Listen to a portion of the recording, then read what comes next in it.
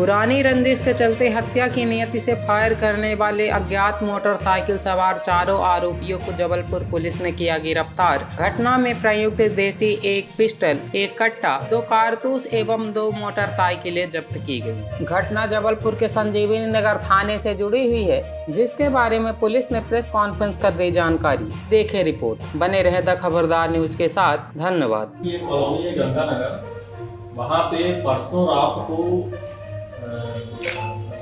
जो है बंदूक से फायर किया गया था।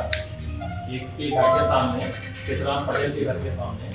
और वो कार पे फायरिंग किया गया था। वो फायर इस हिसाब से था कि जो आरोपी हैं और उनकी दुश्मनी चलती उसके परिवार से एक प्रकार से जान से मारने की नीयत से वो फायर किया गया था। और उसमें जो चेतराम पटेल के लड़के हैं भी बाल बाल बच्चा है।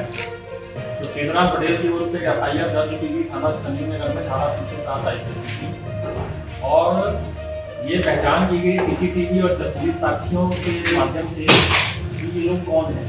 तो ये पता चला कि एक बाइक जिसमें गुर्जर लिखा हुआ था, उससे आए हैं और इनकी पहचान भी स्थापित हुई। तो जहाँ इनके पते ठिकाने पर रात में जो जिला जबलपुर में रात्रि गश्त पुलिस थी तो सीएसपी कोतवाली के निर्देशन में ये पूरी सर्च की गई और इन्होंने पूरा भागने का प्रयास किया गया।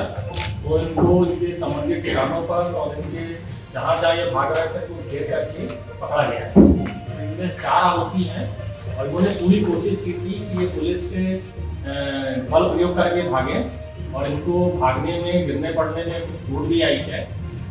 तो ये चारों मुलजिम को पकड़ा गया। और ये आरोपी में, एक आरोपी जो मेन है इनमें मुकेश पटेल, मुकेश मुकेश पटेल, जिसके कि जिला जबलपुर के अन्य थानों में करीबन 11 से अधिक अपराध पंजीबद्ध है और इसके खिलाफ क्या सख्त कार्रवाई की जा सकती है?